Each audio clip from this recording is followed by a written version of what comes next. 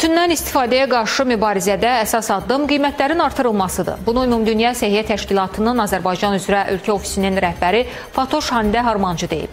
Onun sözlərinə görə 1 saatlıq qəlyan çəkmək 40 siqaretə bərabərdir. O bildirib ki, Azərbaycanda təxminən 1,3 milyon insan tütündən istifadə edir. Həmin insanların da yarısı 70 yaşına çatmadan dünyalarını dəyişəcəklər. Ona görə də bunun qarşısını almaq üçün həyata keçiriləcək mübarizə çox vacibdir. Bu istiqamətdə atılan addımlardan başlıcası tütün məmulatlarının qiymətinin artırılmasıdır. Çünki Azərbaycanda siqaretlərin qiyməti çox ucuzdur.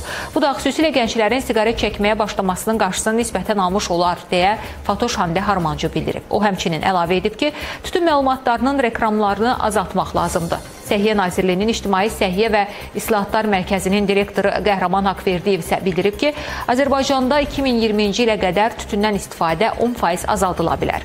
Bu arada Tütündən İmtina Et adlı mobil aplikasiyanın da təqdimatı keçirilib. Aplikasiyanın əsas məqsədi əhalinin diqqətini tütünün yaratdığı təhlükəli fəsadlara yönəltmək və bu istiqamətdə maarifləndirməni daha da genişləndirməkdir.